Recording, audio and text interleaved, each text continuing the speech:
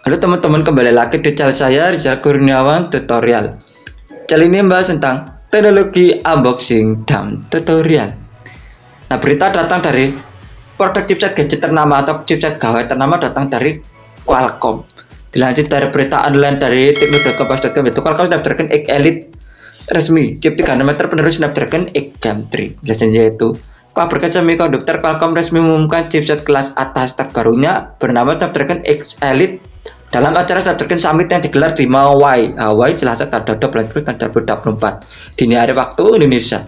Snapdragon X Elite ini menjadi chip pertama Qualcomm dibangun dengan prosesor berbasis 3 nanometer sekaligus merupakan penerus dari sistem on-chip SoC Snapdragon X Gen 3 yang dirilis pada Oktober 2023. Chip Qualcomm Snapdragon X Elite ini hadir dengan menenklatur atau penamaan baru dari sisi spesifikasi secara umum, Snapdragon X Elite membawa arsitektur prosesor baru CPU Orion, pilotan kerja CPU, efisiensi daya, kinerja grafis, hingga pemrosesan AI. Pinjam nama prosesor laptop Snapdragon X Elite. Dan pengumuman Snapdragon X Elite Qualcomm kembali mengubah penamaan chipset flagship miliknya.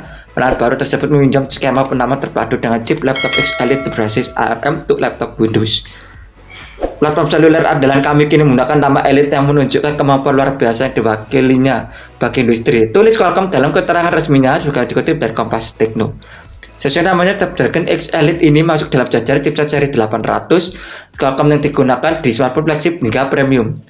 Sebelumnya Snapdragon seri 800 menggunakan nomenklatur 3 digit angka seperti Snapdragon 845, 865, 870 atau 888. Nomor seri terbesar menunjukkan terkait baruannya pada tahun 2021, Qualcomm mengubah nomenklatur chipset 800 satu digit angka di depan yang diikuti nomor generasi dimulai dengan Snapdragon X Gen 1. Selanjutnya, Qualcomm menamai chipset flagshipnya sebagai Snapdragon X Gen 2 2022 dan Snapdragon X Gen 3 2023. Nama tersebut ternyata hanya bertahan 3 tahun, kemudian diganti dengan Snapdragon X Elite pada Oktober 2024 ini. Pertama pakai CPU Orion.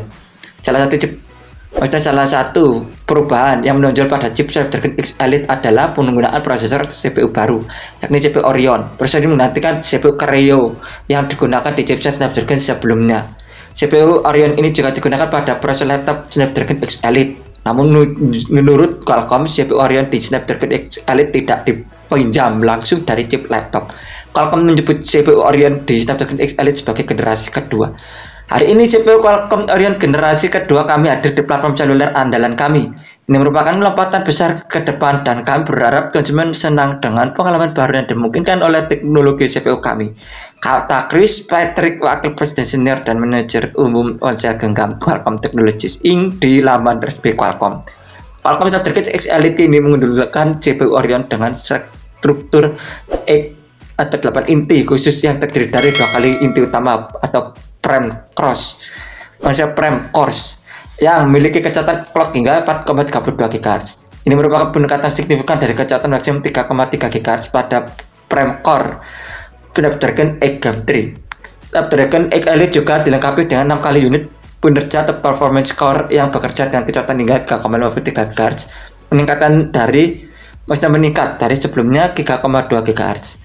CPU Orion Snapdragon X Elite tidak memiliki sintesis efisien atau efisiensi cores. Sebagai perbandingan sebelumnya, Snapdragon X Gen 3 dengan CPU Creo memiliki 5 performance cores, 2 efficiency cores, dan 1 prime cores. Spesifikasi Snapdragon X Elite CPU Orion di Snapdragon X Elite tersebut memiliki CXL2 24 MB dan dukungan RAM tapi di 5X 5300 MHz Chip baru ini dibuat pada proses 3 nanometer TSMC atau Taiwan Semiconductor Manufacturing Company dan menunjukkan peningkatan kinerja CPU sebesar 45%.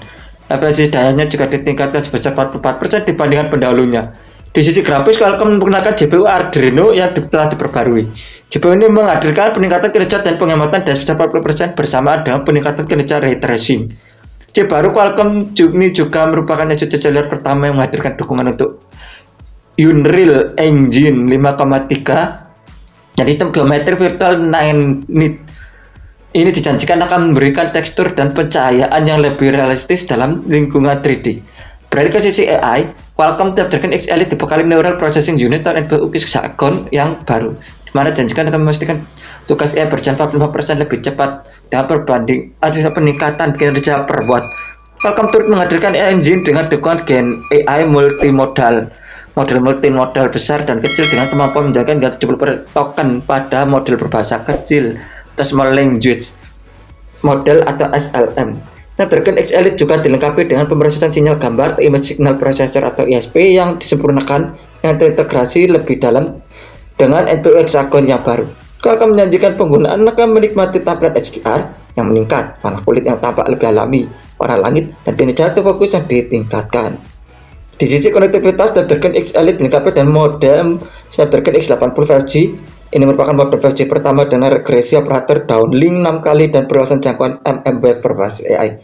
Qualcomm mengklaim kecepatan unduhan puncak chipset Snapdragon X Elite mencapai 10 GB per second dan kecepatan unggahan maksimum sebesar 3,5 GB per second.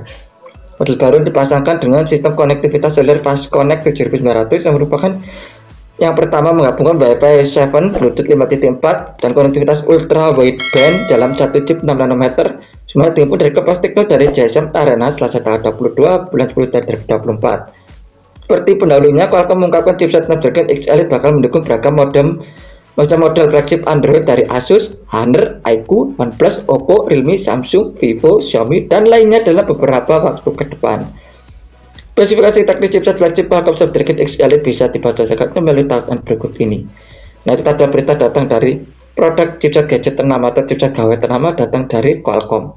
Dilansir dari berita ala dari tekno.kompas.com yaitu Qualcomm Snapdragon X Elite resmi chip 3 nanometer penerus Snapdragon X Gen 3 Nah terima kasih dalam tonton ini jangan lupa subscribe, like, comment, dan share tunggu tombol loncengnya akan memberi notifikasi tentang desa tentang teknologi unboxing dan tutorial dan akan selesai terus kembang. Terima kasih.